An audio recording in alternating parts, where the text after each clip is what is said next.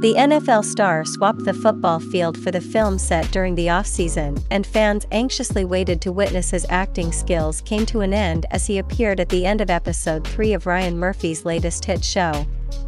Kelce was introduced as Ed Lachlan, who features as a potential love interest for Detective Lois Tryon. Ed first meets Lois at the hospital where her husband Marshall is in a coma, and the pair flirt before Lois takes off in her car from the hospital. In the next scene, Lois crashes her car into a pole and wakes up in the hospital with Ed as her nurse. She convinces him to sneak out of the hospital against her doctor's orders, and he obliges. And the episode ends with the pair breaking out of the hospital hand in hand and escaping in Ed's red convertible. The whole sequence was very romantic.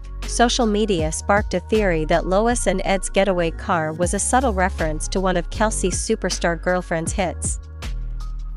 The songstress's 2017 album, Reputation, featured a fan favorite song, Getaway Car, leading many fans to draw comparisons between the tune and Kelce's character's own getaway car.